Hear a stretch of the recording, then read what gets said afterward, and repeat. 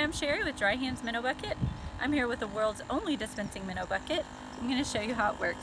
Every minnow bucket comes standard with an aerator. The aerator keeps the oxygen flow in the water, which will help keep your minnows alive. It also comes wrapped with a very durable polyethylene foam, which helps keep the water cool. And to dispense the minnows, you just pull up on the lever, just like that. You can go to dryhandsminnowbucket.com and order yours today.